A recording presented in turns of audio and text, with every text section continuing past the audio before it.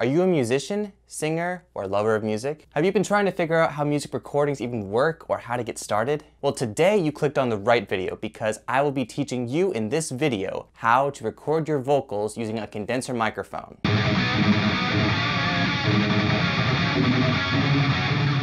So my favorite type of microphone to use when recording vocals is a condenser microphone. Why? Because if you're a singer on a tight budget and looking for a microphone to help you, then a condenser microphone will give you all the resources you need to make better music quality. Now when I say tight budget, I don't mean just go for any cheap microphone that you find on Amazon and think that it's gonna be all right, because not all microphones record the same.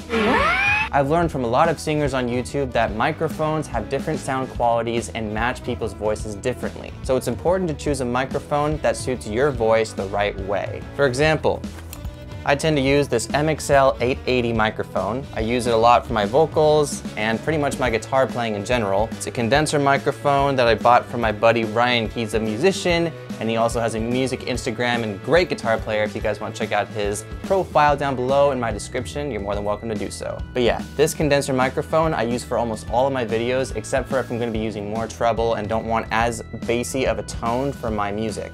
But this microphone is clear, it's articulate, put a pop filter right in front of it and you're good to go. You can find the upgraded version of this microphone on Amazon, which I have the link in the description below. There are plenty of cheap and affordable microphones that have just as great a quality as any expensive microphone, and they only cost under $100. These microphones are the Neewer NW800, the Xingyu BM800, the PIY Painting Cardioid Condenser Microphone, and the MXL990. Now hold on, before you go and purchase your next microphone, I would at least do some more research on if this microphone is good for you.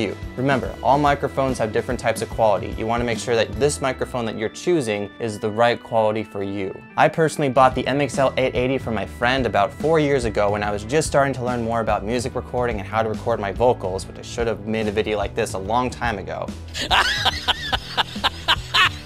it wasn't too expensive, it was a good deal, and it was a great brand and it works for me. I mean, check out my other music videos on this channel and you can see and hear the type of quality this microphone gives out, that it receives and puts into the music. So when you're recording your vocals, how do you know how to record your vocals? What kind of distance you need to be from the microphone to get the greatest sound quality? Now there are many sound engineers and music producers on this platform that can give you that kind of teaching. But what I want to show you, when you're recording with a condenser microphone like the MXL 880 or any type, you want to make sure you have your microphone at least six inches away from your mouth. Not up to here, because you're gonna get a very bassy type of tone, and I don't have it plugged in at the moment, so that's why it's not really happening. But you're gonna get a very bassy type of tone. The further you have your microphone away from you, the better and more narrow it sounds. I want your stupid love, love, ooh. I want your stupid love. Now, if you were to get a pop filter for your vocals, which I highly recommend you get, you would put it in between like this, and it distances yourself from the microphone, but it also helps with getting rid of that sensitivity and noise distortion from your voice. You know, sometimes when you're listening to a podcast or watching someone speak really close into their microphone, and you can hear the T's and the P's and the S's and the K's, and it just sounds so sensitive and it's, it's getting to your ears. Well, that's because they're probably not using a pop filter or they're just really freaking close to the microphone. So you wanna be sure to distance your mouth at least six six inches away from your microphone when recording vocals or at least speaking into your microphone. For a podcaster, their situation may be different because they may want to have a more broad and beefy sound that carries through the microphone. But if you're a singer, you want to have that mixture of treble and bass. You want to have a nice balance of that because honestly, if you want to get your music on Spotify, iTunes, Amazon Prime Music, any of that stuff, that's what they listen to. so again, this popper right here, which I have it curved because, you know, I have it against my mic stand. I usually have to fold it a certain way.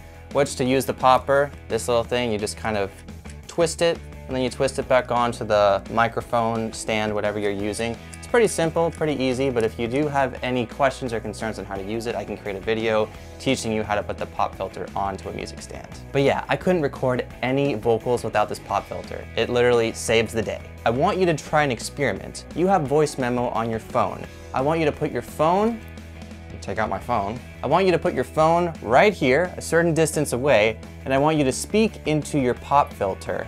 And then take it away, speak some more, and just hear the difference of your sound quality. Hear how the pop filter has made a big difference in your sound, the tone of voice, and how you're probably not hearing those very sensitive articulations like S's and T's and P's and C's and K's, because it can get kind of annoying when you don't have the pop filter on there. So I would definitely invest into one of these pop filters. You can find them on Amazon for like $9.99, the cheapest. I have a link to these pop filters in my description below if you're interested in purchasing them now. Another important thing that you need to know about condenser microphones is they have two different sides. One side for receiving the noise, the sounds, the music, whatever you're recording into this microphone, and they have a backside to filter out the excess noise. But of course, this part doesn't always get everything out in noise cancel. That's why people put up acoustic foam panels or they make their own panels on their walls by putting towels around and getting two by fours and then mounting them on their walls or around their speakers. It makes a huge difference, believe it or not. I have a few acoustic foam panels that are hanging towards the side of my wall and they help just a little bit. But one of my greatest tricks is putting a blanket right behind this microphone. So when I'm recording like here, usually put a blanket not too close to it, but at least a little further away to noise cancel out some of that excess noise and sound so that your voice becomes more clear and concise. And of course, if you don't believe me, you can hear it from so many other musicians and audio engineers on YouTube. They're just gonna paraphrase it differently, but I'm telling you, the acoustic foam panels and the other big panels that you can create with just towels or just, you know, construction type those panels will enhance and noise cancel out your music like no tomorrow. Definitely something to look into. You can find the acoustic foam panels that I was talking about in my description below. Now you have your microphone, you have your pop filter, but how are you gonna plug it in? You need an XLR cable. This is a GLS Audio XLR cable that I just recently purchased on Amazon and it's actually really great quality. So this XLR cable will attach to the bottom of your microphone. Gotta just place it in there, see where the holes line up. Oh, this is taking quite a bit. I know what I'm doing, guys. there you go, it's connected. And then when you need to disconnect it, there's a little button right here, you just push in, disconnect. So you can just practice doing that if you wish. The ending of it right here, this goes into the output of your audio interface. So this is what we like to call the male end. The female end right here, disconnect, connect and then the male end goes into the output of your audio interface. Now the XLR cable I was using before I purchased the GLS Audio XLR cable was this I don't know what the brand is, but it's an XLR cable I bought from my friend when he gave me my microphone. This XLR cable is actually a VRT high quality audio XLR cable that does really great for recording, although I've been using it for four years and it eventually just died out so I needed to get another one. But yes, for anyone looking to record their music, their vocals, guitar, anything like that, I would highly suggest investing into an XLR cable like this, the GLS Audio XLR cable. And I understand that you want to find the most affordable price and music and video equipment are extremely expensive. I know, believe me, I'm in that boat. But you gotta remember, the product is priced for a specific reason because it'll do you wonders. It'll help you with your performance. Imagine a $3 million guitar being sold for only 20 bucks. Now, I'm sure in our dreams that's possible, which I'm gonna try to make it happen tonight. But it's not possible in reality because the making of the guitar, the sound quality it has, everything all together, Everybody wants it. So to conclude with my rants about music and video products, you want to find the best reasonable price and something that works for you, is professional, and will enhance your music the way you want it to. Alright, so let's recap.